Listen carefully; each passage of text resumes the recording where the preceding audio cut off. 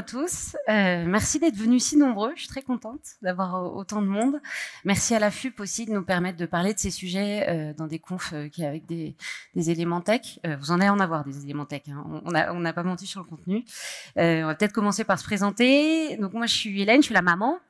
J'ai co-créé euh, deux petits garçons et une coopérative avec monsieur. Euh, moi, ce qui m'intéresse dans, dans mon travail au quotidien, ça va être la dynamique du groupe, savoir comment les gens travaillent ensemble. Donc ça, c'est mon premier métier de Scrum Master. Et puis, je me suis un peu rendu compte au fur et à mesure de, des, des équipes que j'accompagnais que plus les gens étaient fiers du produit avec lesquels, euh, sur lequel ils travaillaient, plus c'était facile de les convaincre de travailler ensemble et plus longtemps était, euh, était intéressante et, bonne euh, au sein de l'équipe. Donc je me suis intéressée du coup aux produits et euh, maintenant je les aide aussi à euh, construire un produit dont l'équipe va être fière et avec laquelle on va travailler. Bonjour à tous, donc moi c'est Mathieu, le papa, également cofondateur de la coopérative Fairness. pour ma part, donc moi je suis développeur back-end avec plus de 10 ans sur du PHP Symfony, de plus en plus de nodes aussi, de par les différentes missions que je peux effectuer. Euh, je suis aussi un grand fan de tout ce qui va être DDD et architecture hexagonale. Donc si vous voulez qu'on en discute par la suite, n'hésitez pas à venir me voir. Alors, euh, Fairness, modèle coopératif, euh, il y en a de plus en plus des coopératives du numérique, il n'y en aura jamais assez, donc euh, créez-en, rejoignez-en. Euh, donc voilà, on est tous associés, on, est pro propriétaire de notre outil de, travail, partage les bénéfices à la fin de l'année. Aujourd'hui, on est sept, il y en a à Lille, il y en a à Paris. on accompagne, on sensibilise, on forme nos clients, et puis surtout, effectivement, on va développer des produits avec eux, à la fois sur l'affinage du besoin utilisateur, jusqu'au développement, euh, avec des critères de, qualité d'éco-conception qui sont de moins en moins négociables. Donc voilà, on les impose un peu aux clients.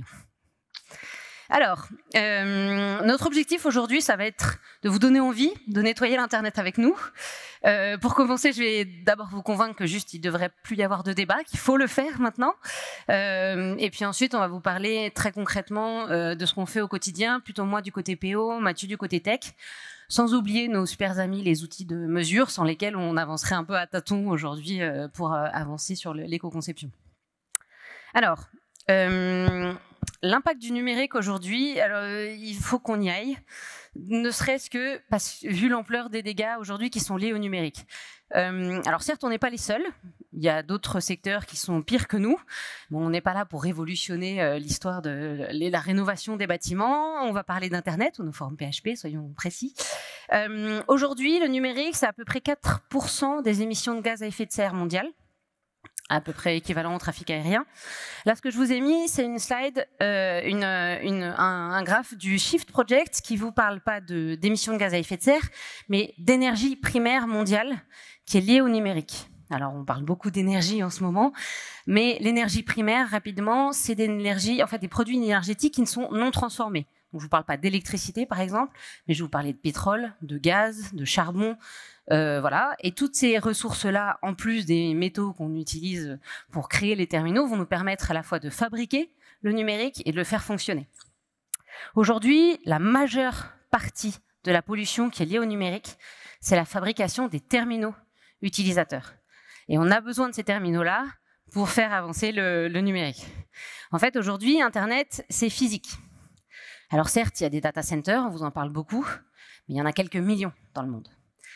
La majeure partie de la pollution, c'est les terminaux utilisateurs. En fait, on a des dizaines de milliards d'objets connectés qui sont aujourd'hui à peu près avec une durée de vie de 2-3 ans, si on parle de nos téléphones par exemple. Et on a une grosse problématique qui est liée au fait qu'on ne réussit à les recycler qu'à peu près à hauteur de 5%. C'est rien, en fait. Donc le truc, c'est que on peut plus aujourd'hui se dire le problème du numérique, c'est les mails et tout, quand aujourd'hui on sait fondamentalement que c'est le fait de changer de terminal de façon régulière, d'avoir la 5G qui fait changer aussi tous les terminaux, la Smart City, les choses comme ça. Euh, le constat est assez simple, on n'a qu'une planète qui est viable pour le moment. Alors Elon Musk a sans doute un plan B, mais j'ai pas encore eu l'info. Pour le moment, on est tous sur la planète, et euh, pour fabriquer les terminaux, on a besoin des ressources. Aujourd'hui, on arrive sur la fin. Je dis bien la fin des ressources accessibles pour fabriquer les téléphones et euh, tous les objets numériques. Typiquement, pour fabriquer vos téléphones portables et d'avoir vos écrans tactiles, Ça a besoin de verre, mais c'est pas seulement du verre, sinon c'est une fenêtre. Donc euh, au-dessus, vous rajoutez ce qu'on appelle de l'indium, qui est l'élément 49 du tableau de Mendeleïev. Bon, c'est pas grave. On va chercher en Chine, dans des conditions sanitaires, écologiques et humaines euh, au top, hein, naturellement. Et on extrait ces ressources-là et on, estime qu'on est à peu près à 2 à 5 ans de ressources d'indium disponibles. Quand je dis disponible, ça veut dire que là, aujourd'hui, on gratte, on récupère de l'indium. D'ici 2 à 5 ans, il va falloir qu'on fasse éclater la montagne pour réussir à récupérer de la poussière d'indium. Et là, on est sur un impact écologique qui sera un tantinet différent. Allez voir Aurore Stéphane, elle parle beaucoup mieux de tout ce qui est des questions d'extraction minière euh, que moi. Mais en fait, nos, nos métiers aujourd'hui sont vraiment intimement liés aux ressources minières, parce que sans ressources, on n'a pas de terminaux, sans terminaux, on n'a pas d'utilisateurs, on n'a pas de besoins, on n'a pas d'application, on n'a pas de PHP, on n'a pas de forum PHP. Là, pour le coup, ça devient vraiment dommage. Alors, du coup, euh, la solution, vous avez compris, c'est de réussir à faire en sorte que les terminaux durent le plus longtemps possible. Aujourd'hui, nos chers utilisateurs, ils changent de téléphone tous les 2-3 ans, les laptops aussi, tout ça. Alors certes, il y a le marketing, hein, Steve Jobs fait bien euh, le taf, tout ce qu'il faut, machin, mais par contre, il y a aussi un peu de notre responsabilité de notre côté. Aujourd'hui, on ne change pas de téléphone parce qu'il marche plus. D'ailleurs, vous les gardez, vous avez tous des paquets de téléphone chez vous, on ne sait jamais, ça peut servir. On les change parce qu'ils rament. Et ils rament aujourd'hui parce que les avancées technologiques des nouveaux devices sont telles qu'on peut avoir des puissances de calcul qui sont dingues. Aujourd'hui, les téléphones, c'est 50 ou 100 ou 1000 fois les ordinateurs d'il y a 15-20 ans. Comme on a cette avancée technologique qui nous permettent de faire des choses lourdes. Aujourd'hui, on développe des choses lourdes sans forcément faire gaffe. Si jamais les utilisateurs n'arrivent pas à utiliser nos services, ben, ils ont qu'à changer de téléphone. Sauf que le problème, c'est qu'il ne faut plus qu'ils changent de téléphone. Donc nous, notre métier, ça va être, quand on veut nettoyer l'Internet, de faire les choses les plus précises, les plus fines et les plus légères pour réussir à faire en sorte que nos utilisateurs n'aient pas à changer de device pour utiliser nos services. Le problème en plus, c'est qu'aujourd'hui, on sait pertinemment qu'on fait charger à nos utilisateurs des choses qui leur sont parfaitement inutiles. Avec les stats de navigation qu'on réussit à obtenir, on sait que 70% des pages ne sont pas ouvertes. 70% du web ne sert à rien. Et si on rajoute les fonctionnalités qui sont de temps en temps euh, sollicitées, euh, on arrive à 80% des applications qu'on développe qui ne sont pas fondamentalement nécessaires. C'est énorme. Donc moi, mon boulot, par exemple, ça va être de faire la PO relou et de dire, mais pourquoi? Typiquement, j'avais un client qui nous demande de faire une fonctionnalité complexe avec, euh, pas quoi, cinq bases de données différentes, il fallait aller taper dans d'autres trucs, enfin, c'était une galère pas possible. Voilà, PO relou. Pourquoi? On me l'a demandé. Alors c'était un événement, enfin c'était un, client qui faisait de l'événementiel et c'était vendu en marque blanche le logiciel qu'on faisait pour lui. Donc ça nous arrivait d'avoir des demandes de notre client qui venaient qu'en fait de ses autres clients à lui. Ok, très bien, j'entends. Combien de fois est-ce que tu as eu cette demande l'année dernière? Ah, On l'a quand même demandé cinq fois. C'était une plateforme qui faisait des milliers de connexions par jour c'est peut-être pas indispensable. Euh, est-ce que on pourrait peut-être mettre un numéro de téléphone pour les questions supplémentaires et comme ça on répond rapidement aux cinq personnes qui vont se poser la même question l'année prochaine. Ah ouais, euh, ouais, ok, ça peut marcher. Et en fait, finalement, lui, il a gagné de l'argent parce que clairement, ça nous a pris moins de temps. Nous, on a gagné du temps parce que clairement, c'était relou. Et en plus, on a fait économiser des recherches à tous les utilisateurs qui n'auront pas réussir à, charger cette, euh, cette, euh, cette, euh, cette, application, enfin cette, cette fonctionnalité qui servait à rien.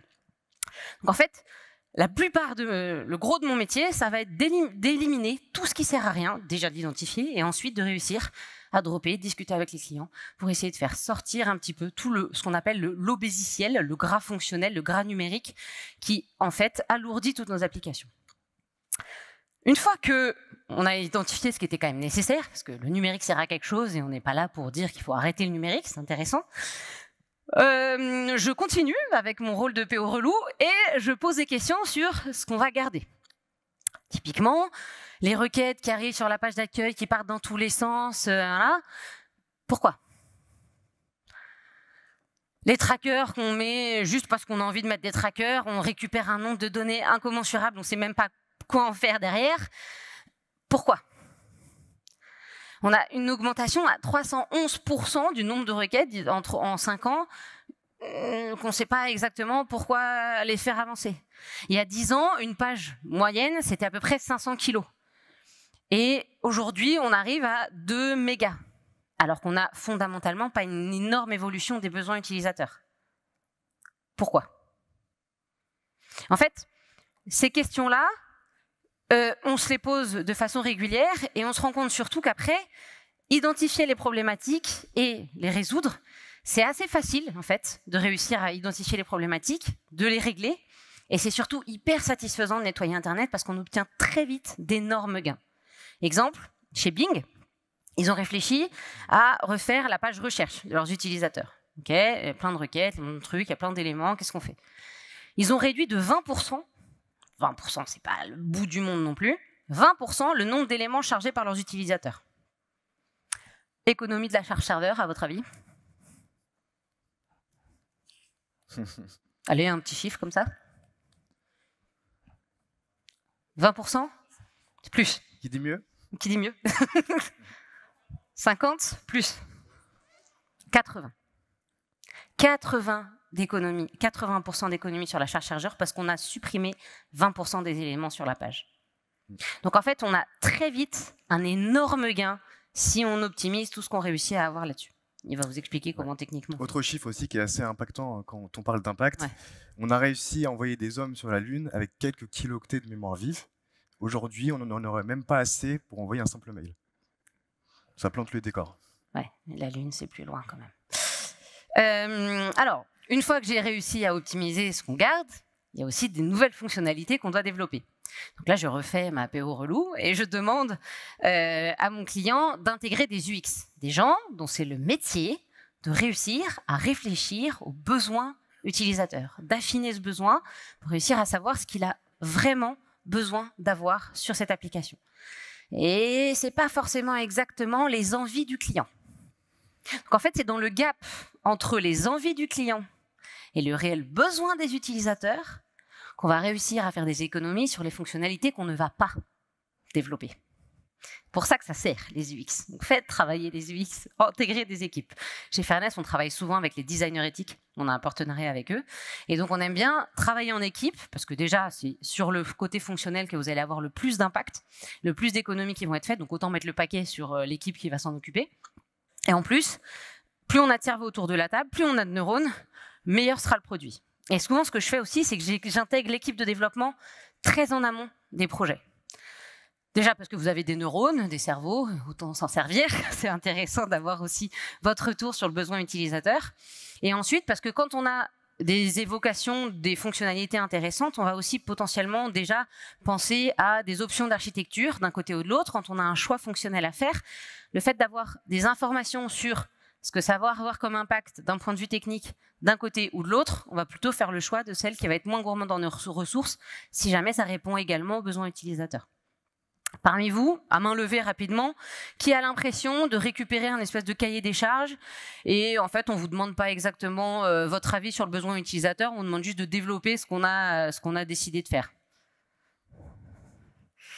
Quelques-uns quand même. Il y a trop de mains. à l'inverse, qui a l'impression d'être intégré sur la réflexion du besoin utilisateur et qui peut, en tant que dev, dire euh, non, ça, ça me paraît pas pertinent, pourquoi vous faites ça, euh, voilà, ce serait mieux de faire comme ci, comme ça. Ah, un peu mieux. Je, m'attendais à pire. Mais en fait, j'aurais quand même préféré que vous soyez tous à lever la main sur la deuxième solution. Parce qu'en fait, plus on va être nombreux autour de la table, plus on va avoir de neurones autour de la table pour réfléchir aux besoins utilisateurs, plus on va poser de nombre, nombre de fois pourquoi et qu'on va affiner ce besoin-là, plus on sera sûr qu'on est en train de créer ensemble la meilleure solution au parce que du besoin utilisateur. Voilà. Alors, une fois qu'on a amélioré le produit, le nerf de la guerre, ça va être les chiffres. Euh, malheureusement, on va manquer de données précises sur l'impact environnemental de nos applications. Euh, on va le voir par la suite. Donc du coup, moi, euh, la première des choses que je fais quand j'arrive sur un projet, c'est que je vais faire un espèce de constat d'état des lieux pour savoir où je mets les pieds. Ça va me permettre deux choses. Déjà, d'avoir une base de recommandations. Et aussi, ça va me permettre de pouvoir faire une comparaison avant et après pour que je puisse un peu constater les gains qu'on a pu obtenir. Donc là, l'idée, ça va être de vous présenter un peu nous, chez Fairness, comment on fait pour mesurer tout ça. Il existe des outils qui sont plus focus sur la perf, euh, comme Boost, PageSpeed, euh, WebDev, que vous connaissez très certainement. Euh, je ne vais pas vous les présenter. Hein. ce sont des outils qui sont pas focus sur la mesure d'impact environnemental, mais on va quand même pouvoir faire quelques parallèles. Le problème, entre guillemets, c'est que ce sont des outils que moi j'appelle généralistes. Alors pourquoi généralistes? C'est parce que ça va prendre l'entièreté de votre application, donc entre back-end et front-end ça va nous donner une notation, quelques améliorations, mais nous, on est des développeurs back-end. Ça ne va pas nous donner d'indices sur comment je vais pouvoir améliorer mon API, comment je vais pouvoir améliorer mon back-end. Il en existe deux ici que je vous ai mis, donc Blackfire et Datadog. Je ne vais pas vous les présenter, vous les connaissez très certainement. Il y a des talks et des articles qui le feront bien mieux que moi. Juste, retenez une chose, dans le cadre de Blackfire, c'est que ces outils-là vont vous donner des données très précises sur la consommation de votre mémoire de, votre application, sur le temps d'exécution, sur le nombre de requêtes SQL qui vont être exécutées. Euh, vous donnez une arborescence de combien de fois et comment sont utilisées vos fonctions. Donc toutes ces mesures-là, ça va vous permettre d'améliorer vos applications et indirectement euh, d'améliorer votre impact environnemental. Alors il y, a, il y a d'autres outils qui sont très spécifiquement orientés mesure de l'impact environnemental de vos applications. Chez Fairness, on les utilise, bien sûr, mais on les utilise tous. Déjà parce qu'ils ne mesurent pas la même chose. Donc vous allez pouvoir avoir une bonne note sur un outil et potentiellement une mauvaise sur un autre parce qu'ils ne vont pas mesurer la même chose. Et ensuite, euh, cette euh, pléthore de, de, chiffres, effectivement, de notations qu'on récupère, vont ensuite être analysées, comparées, bien potentiellement avec les outils aussi techniques, la chose, pour qu'on puisse derrière avoir un plan d'attaque et un travail qui soit plus pertinent sur les applications des clients. Je vous en présenter quelques-uns. Donc, EcoIndex, lui, il a été créé par le collectif Green IT, Frédéric Bordage. Et lui, il est basé sur les 115 bonnes pratiques dont on va vous parler derrière. Euh, greenframe.io, euh, François Zagnotto vous l'a présenté au forum l'année dernière. Il a été euh, initié au challenge sobriété numérique qu'on a créé avec les API Days euh, chez Fairness, qu'on continue d'animer tous les ans. voilà, Scaffold, c'est plutôt côté infra, à mesure de l'impact de vos serveurs, tout ça, la consommation de votre infra, ça a été géré par euh, Hublot, et en particulier Benoît Petit, avec qui on, travaille aussi régulièrement. après, vous en avez d'autres sur la consommation électrique. Par exemple, Carbonalizer, c'est un plugin Firefox que vous pouvez rajouter qui mesure l'impact en fait euh, électrique de votre consommation, euh, de votre navigation. Euh, Green Spectre aussi, c'est plutôt tourné vers la consommation électrique euh, de, votre, euh, de votre application. Et en fait, tous ces, ce que je vous disais, c'est vraiment tous ces outils-là sont différents, mesurent pas forcément la même chose. En fait, ils vont être complémentaires. Donc, vous ne vous contentez pas de le faire sur un seul. Essayez de comprendre déjà quels sont les chiffres qui vont vous être donnés quand vous faites tourner ces outils-là savoir un petit peu quelles sont les mesures qui vont, qui vont vous donner et pas juste une, une note, bah ok je suis AB, euh, c'est pas ouf mais ça va et donc du coup on continue alors qu'en fait vous allez potentiellement sur d'autres outils avoir plus de pistes d'amélioration. Donc essayez de faire tourner plusieurs outils et ensuite de les analyser pour avoir euh, quelque chose de pertinent pour le travail chez le client par la suite. Ce qu'il faut savoir aussi c'est que tous ces outils-là sont en perpétuelle évolution, c'est quand même un secteur qui est encore assez neuf. Typiquement si je prends l'exemple de EcoIndex, si vous allez sur le site aujourd'hui juste ça fonctionne pas. Ils sont en train de mettre à jour une nouvelle version. On peut quand même, ceci dit, utiliser l'extension Chrome ou l'extension Firefox, ça fonctionnera très bien. Mais juste, voilà, pour vous dire, un petit peu d'indulgence, tout ça évolue de manière assez régulière. Euh, je voudrais juste attirer votre attention sur la CI. Donc la CI, c'est très très bien parce que c'est quelque chose qui va vous permettre de garantir la qualité de votre projet. Mais dans beaucoup de missions, j'ai vu des CI qui mettaient plus de 30 minutes à s'exécuter. 30 minutes. C'est très frustrant. Moi, en tant que développeur, c'est vraiment super frustrant. J'ai le temps d'aller prendre un café, deux cafés, trois cafés, je reviens, ma CI toujours pas terminée. Et en plus de prendre du temps, sachez que c'est pas neutre, parce que derrière, c'est une machine, une machine qui va consommer de la RAM, qui va consommer du CPU et de la bande passante. Donc du coup, moi, la première des choses que je vais faire quand je vois ce genre de choses, c'est d'essayer de l'optimiser. Comment Potentiellement en optimisant mes tests, en supprimant les doublons, en évitant les redondances. Si on a des doublons entre des tests fonctionnels et des tests unitaires, potentiellement on peut faire un peu de tri. On peut aussi potentiellement, mettre euh, les dépendances en cache. Euh, donc voilà, tout un tas de choses qui fait que notre CI va avoir un temps d'exécution qui soit plus court. Parce que dites-vous bien que euh, si vous êtes dans une équipe de 15 développeurs, vos 15 développeurs vont pusher à longueur de journée, donc du coup déclencher la CI à longueur de journée. Ça a un énorme impact au niveau de la consommation des ressources code propre et auto-nettoyant. Alors là, normalement, du moins j'espère, ça devrait être la partie qui devrait le plus vous intéresser, vous êtes des développeurs, Si. même s'il est quand même important de le rappeler que la majeure partie de l'impact qu'on va pouvoir avoir, ça va se situer au niveau du produit. Commencer par couper ce qui sert à rien et optimiser ce qui reste à la fin. Mais avant de parler de code, j'aimerais vous poser une question. Comment je peux faire, moi, en tant que développeur, pour améliorer mon environnement de développement? Par améliorer, j'entends quoi? Par réduire mon impact environnemental. Première question que je vais me poser, est-ce que je vais avoir besoin de plusieurs écrans pour travailler? On me répond souvent oui, parce que c'est pratique, parce que je vais avoir mon idée d'un côté, mon terminal de l'autre, mon navigateur. Ok, c'est un choix. Moi, personnellement, je suis parti sur du Linux et le mode multi-bureau, ça fonctionne très bien. Je peux me passer des autres écrans. Est-ce que j'ai besoin d'avoir le dernier téléphone à la mode? Est-ce que j'ai besoin d'avoir le dernier ordinateur le plus puissant? Est-ce que ça m'aide à, mieux travailler? Honnêtement, j'en suis pas sûr. On le sait, la pollution, la majorité de la pollution intervient dès la phase de fabrication des terminaux. Donc s'il vous plaît, vraiment s'il vous plaît, essayez de faire durer au maximum vos terminaux utilisateurs. Même d'un côté euh, PO en plus, c'est intéressant aussi d'avoir un environnement de test qui soit pas forcément tous les terminaux de dernier cri. Parce que ça va vous permettre aussi de voir qui vous allez exclure de votre application quand vous avez une nouvelle version et de gens qui vont pas réussir à lire les choses parce que c'est pas supporté sur les anciens OS et tout ça. Donc même d'un point de vue euh, fonctionnel, c'est hyper intéressant de temps en temps de garder des choses qui sont pas forcément dernier cri parce que quand ça fonctionne, ça roule, et on se rend pas forcément compte qu'on est en train d'exclure des gens qui, eux, n'ont pas les moyens de changer de terminaux de façon aussi régulière que nous. Alors, toujours avant de parler de code, j'aimerais faire un petit rappel sur ce qu'est la performance, parce que j'entends beaucoup trop que avoir un site rapide, c'est d'avoir un site performant. Et ça, moi aussi, je le pensais également. Mais c'était avant que je découvre la norme ISO sur la qualité logicielle, donc la 25010, où les normes de performance sont définies au même titre que euh, la compatibilité, la sécurité, maintenabilité, etc. Donc, qu'est-ce que la performance? C'est trois choses. C'est une application qui va répondre rapidement. Ça, ça peut paraître évident. Ça va être une application qui répond tout le temps. Ça veut dire que peu importe le nombre d'utilisateurs que vous allez avoir, il faut que votre application puisse scaler et du coup répondre à tout le monde. Troisième point, je pense le plus important et qui est très généralement le, celui qui est oublié, avoir une application sobre. Ça veut dire que pour pouvoir répondre aux deux premiers critères, il faut que votre application consomme le moins de ressources possible. Ce qui veut dire que si vous avez un site qui est rapide, mais qui derrière nécessite je ne sais pas combien de serveurs, vous n'aurez pas une application performante. Aurez juste une application rapide, en fait, mais ce n'est pas performant.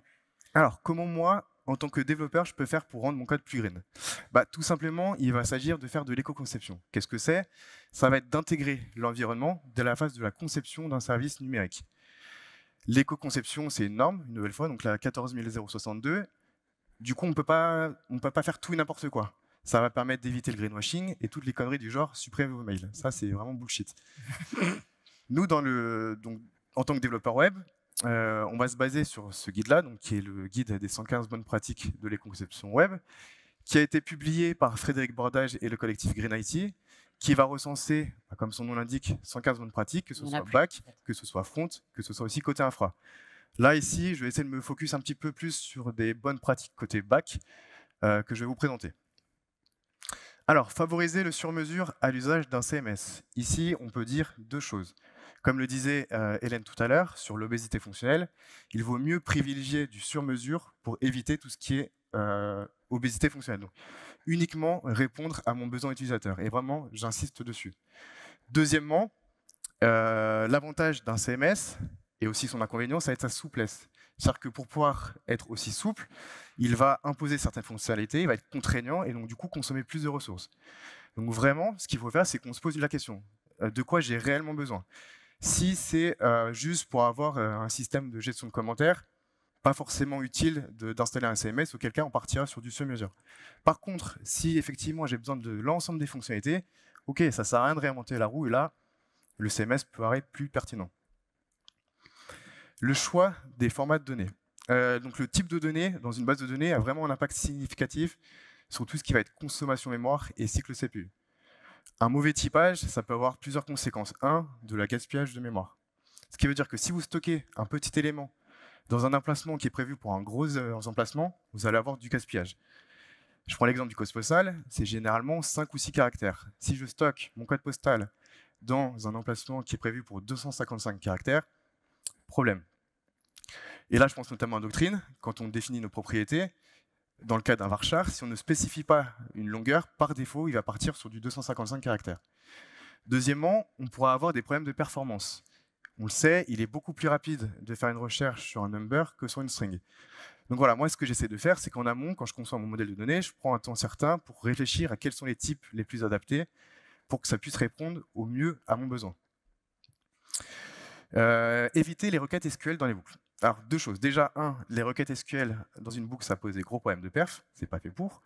Et deuxièmement, ça va consommer inutilement des cycles CPU, de la mémoire et de la bande passante. Donc là, on a vraiment la triptyque.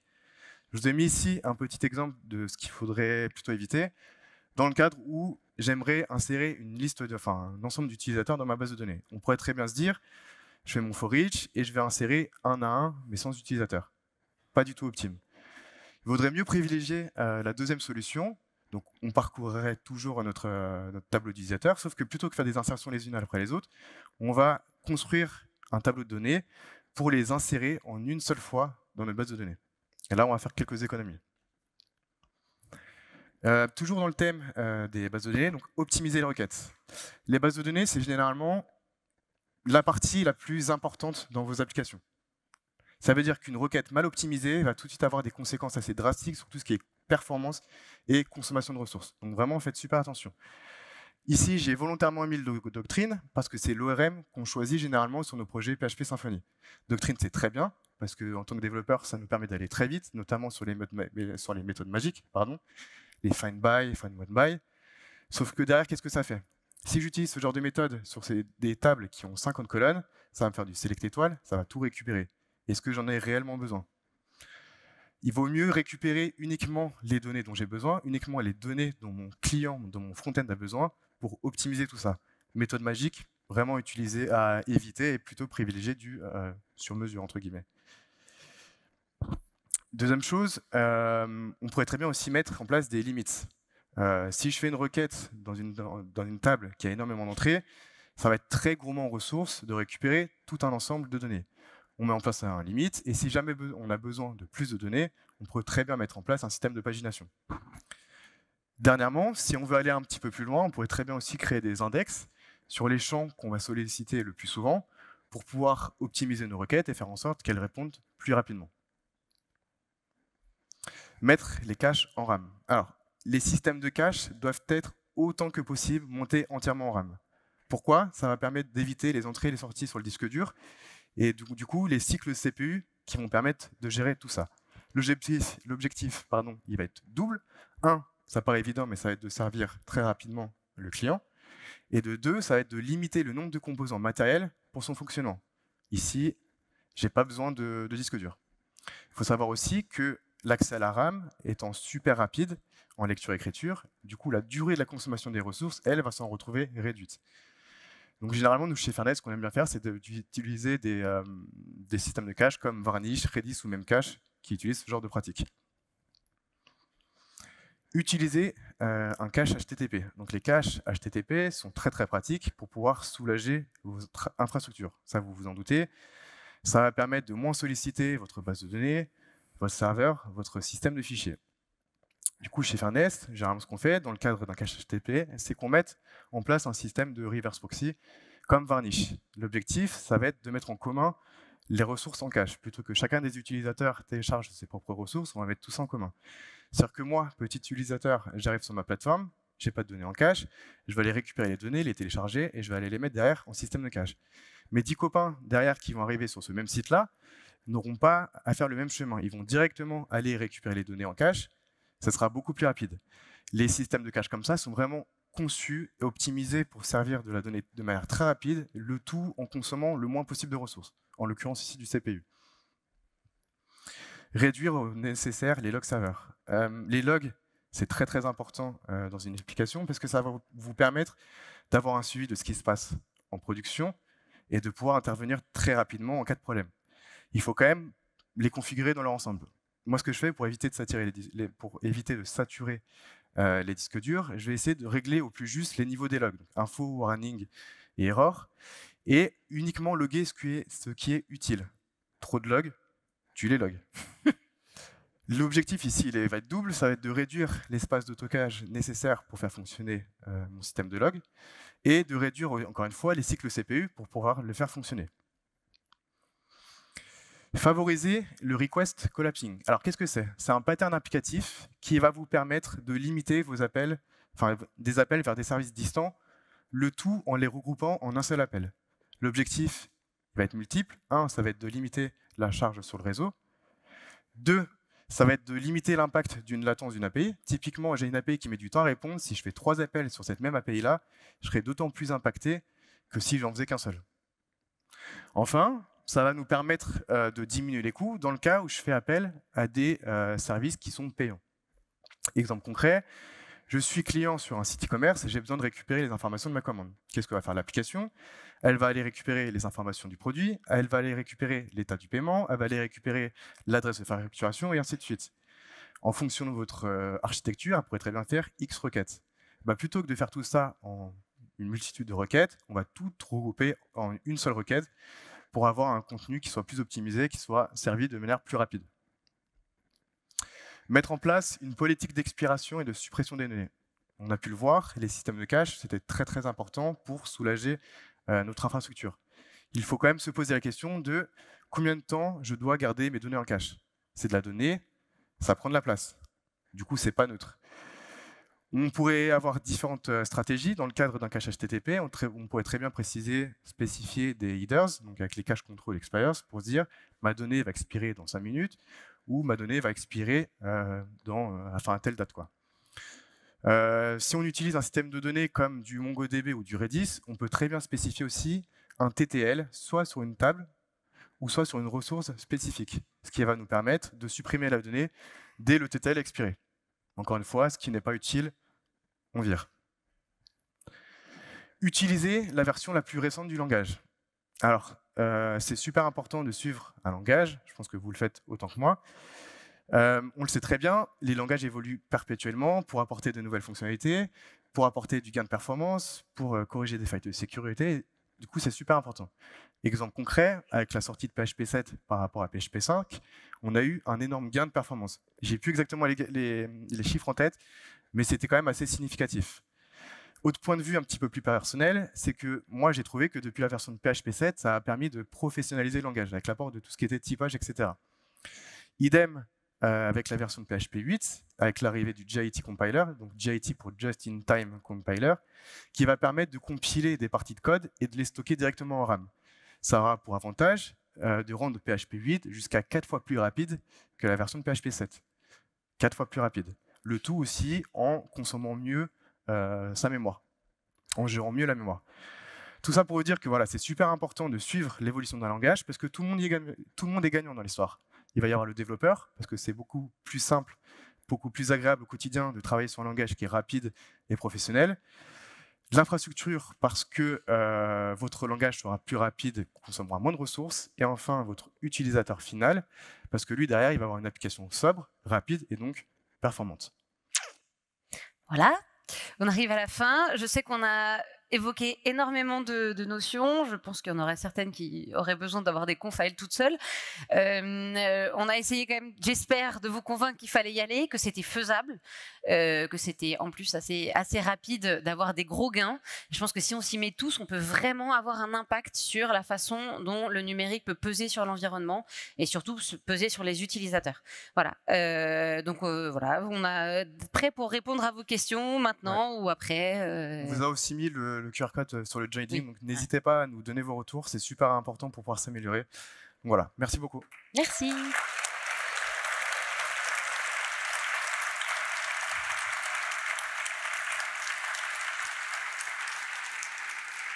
Je ne sais pas si on a le temps pour des questions.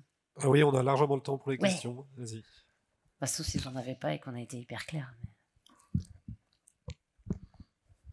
Bonjour, euh, merci beaucoup euh, d'aborder ce sujet euh, hyper important. je reviens au début de la conférence. Tu parlais d'obésiciel au début. ce que je vois, j'ai l'impression que la plus grande partie de ce, grossissement des applications vient notamment des systèmes d'exploitation. Si je dis pas de bêtises, Windows XP devait peser quelques dizaines ou quelques centaines de mégas. Maintenant, Android doit peser quelques gigas et rend à peu près peu ou prou les mêmes services malgré toutes les évolutions technologiques qu'on a, qu'on a pu mettre dedans. Et du coup, je me demandais, est-ce que au niveau des gros éditeurs, donc au niveau des systèmes d'exploitation notamment, s'il y avait des initiatives dans le sens de voilà essayer de dégraisser le mammouth et d'avancer dans le bon sens? Alors, je reprends juste. Non, c'est pas les systèmes d'exploitation, c'est les fonctionnalités qui servent à rien. Vraiment, ça là-dessus, essayez d'embarquer toutes vos équipes. C'est un travail d'équipe, tous les métiers sont concernés, et en particulier les clients, les PO et tout, il faut vraiment dropper d'abord les fonctionnalités, après effectivement on, réfléchit là-dessus. Euh, les gros systèmes d'exploitation sont conscients, notamment parce qu'on leur crache dessus sur euh, le fait que le numérique pollue, donc c'est vrai que les gros sont conscients de la chose, les gros hébergeurs aussi sont conscients du fait qu'il va falloir être un peu plus green, donc Google fait beaucoup de pubs là-dessus, AWS commence à s'y mettre, mais ils sont pas forcément hyper performants là-dessus aussi. Et donc, euh, alors oui, il y en a qui sont concernés, maintenant ça bouge pas assez vite clairement, quand euh, je vous dis qu'on est à 2 à 5 ans de, ressources d'indium, euh, c'est pas moi qui l'ai inventé. Hein. Euh, donc oui, il faut qu'il bouge. maintenant, est-ce que vous, vous pouvez pas essayer de garder des OS qui soient peut-être un peu plus anciens pour déjà continuer à faire euh, marcher vos, vos, euh, vos, devices anciens de vos utilisateurs et ensuite euh, potentiellement de leur faire des retours réguliers en leur disant il faudrait dégraisser un peu les choses de votre côté aussi. Mais de toute façon, c'est un travail d'équipe. Il va falloir que tout le monde s'y mette mm. et on a tous notre taf à faire là-dessus. Non, tu vas rajouter un truc sur les systèmes d'exploitation? Voilà.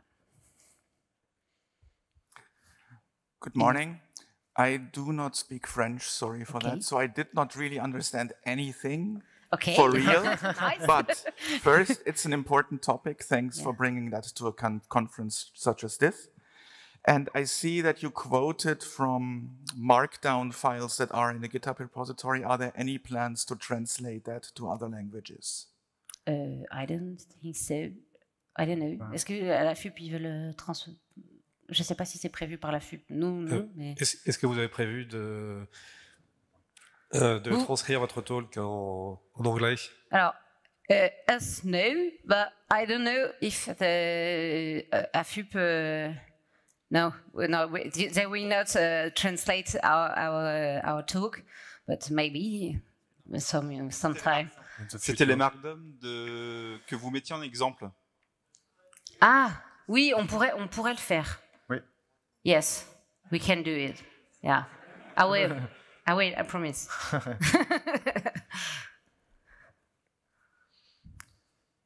on a encore le temps pour les questions. Vas-y, il y en a deux, au moins. Je ne sais pas si je vois tout le monde. Oui, bonjour. Vous avez parlé des, des obésiciels. Ouais. Je, en fait, euh, je vois beaucoup de développeurs qui utilisent Symfony. Mmh. Or, Symfony, c'est quelque chose comme 3000 classes. Et il y a énormément de, sites ou de, logiciels qui sont qui utilisent grosso modo une toute petite partie de Symfony, euh, juste pour faire du crude en général. On va chercher des, données en base, on les affiche aux clients. Est-ce qu'on a vraiment besoin des frameworks? Doctrine, vous en avez parlé. Ah. gère pas très bien. enfin, des, grosses, des grosses requêtes quand il y a plusieurs entités avec des relations, des choses comme ça, il sait pas très bien le faire. Euh, est-ce que nous, en tant que développeurs, on ne doit pas essayer de se, de se, passer de ces outils qui sont, en termes de productivité, qualité, très bien, mais derrière, qui laissent du travail à faire à la machine, parce que tout ce qu'on ne fait pas nous en tant que développeurs, c'est la machine qui va le faire répéter des milliers de fois avec chaque requête. Alors ça va être un avis très personnel, mais je trouve que les frameworks sont juste indispensables aujourd'hui dans nos métiers de développeurs, peu importe le nombre de classes que ça peut avoir, parce que du coup ça va nous permettre d'avoir un code de qualité, un code qui va être durable, et ça c'est aussi important de le spécifier et qu'ils se sont déjà un petit peu cassés les dents pour euh, corriger tout ce qui va être faille de sécurité, améliorer les performances, etc. Symfony, c'est un framework qui ne cesse d'évoluer constamment. Pareil pour Doctrine, tout va dépendre de ton utilisation. Si tu vas faire, comme je disais tout à l'heure, des méthodes magiques, ça ne va pas être optimisé, mais tu peux très bien faire des requêtes complètement personnalisées, comme si tu faisais du vrai SQL, entre guillemets. Euh, après, ce qui est aussi important de savoir, c'est que, euh, encore une fois, la majeure partie de l'impact qu'on va pouvoir avoir, ça va être au niveau du produit plus on va dégraisser niveau produit, mieux ce sera. On peut très bien optimiser niveau code, et c'est très bien, il faut le faire, mais c'est pas la grosse partie de l'impact. Je sais pas si ça répond à ta question. Après, le CRUD, est-ce que c'est vraiment indispensable de mettre des trucs énormes si on a juste un... Bah ça, je pense que ça, chacun de juger la pertinence de. Moi, ça dépend parce qu'en fait, si, vous euh, êtes, si, vous êtes, capable de faire du sur-mesure en PHP hyper, euh, voilà. Mais après, c'est vrai que Symfony, ça permet de faire quand même quelque chose de propre même si on n'a pas forcément la capacité de faire du PHP. En fait, le PHP crade va peut-être parfois être plus, plus lourd qu'un Symfony bien utilisé. Quoi. Je sais pas si c'est clair. eh, non, si, parfois, ça arrive. Il y avait d'autres questions? Pardon. Devant. Bah, Adrien. On a le temps pour une dernière question. Merci pour le talk. Est-ce qu'il y a un enjeu euh, à un moment donné éteindre le serveur, éteindre l'application? La nuit, euh, ils s'en servent pas. C'est euh, le bar est fermé parfois aussi. Ouais. Euh, bah moi, en ce moment, je suis en mission chez Radio France et ils ont déjà fait un premier pas vers ça pour éteindre tout ce qui va être environnement de pré-prod et de staging le soir. 19h, il n'y a plus rien. Après, par contre, la production, bah, c'est compliqué en fonction de la volumétrie des utilisateurs qu'on peut avoir sur Mais plateforme. chez Radio France. Typiquement, chez Radio France, c'est impossible pour la production, mais au moins déjà sur les environnements de recettes et pré-prod, ça a déjà été fait. Ça dépend de votre produit en fait. Encore une fois, on va vous répondre beaucoup, ça dépend. Mais euh, l'idée c'est de se dire réfléchir produit, prendre un tout petit peu le recul nécessaire pour réussir à être pertinent sur de quoi j'ai vraiment besoin. Et est-ce que juste je laisse tourner des choses parce que je me pose pas la question? Et quand je me pose la question, je me rends compte qu'effectivement, si j'ai un intranet ou un service euh, qui va tourner, euh, bah, par exemple, moi j'avais euh, la Poste, j'ai été coach de la Poste sur le challenge sobriété numérique là, et donc du coup sur la Poste, je leur disais, bah, c'est un intranet, est-ce que vous en avez vraiment besoin? Ils disaient, ah ouais, c'est vrai, non, de toute façon, les bureaux de poste, ils ferment tous le soir et tout ça. Et comme de toute façon, c'était pour discuter entre nous et tout. Puis après, je me suis dit, dans les îles, ils utilisent la même chose. Donc en fait, oui, ils avaient besoin de le laisser parce que effectivement, ils continuaient à tourner, pas sur des plages de France métropolitaine, mais euh, en outre-mer, en fait, ils en avaient quand même besoin. Donc en fait, se poser la question de se dire, est-ce qu'on en a vraiment besoin? Déjà, c'est un premier pas pour identifier les choses qui tournent dans le vide régulièrement et que tu peux euh, optimiser. Par exemple, et franchement, tout ce qui est euh, prod et pré-prod, environnement de recettes et tout ça, à partir du moment où les gens ne travaillent pas, vous éteignez quoi. Ça rien. On a fini? C'est ça Pardon. Merci à vous. On est là Merci.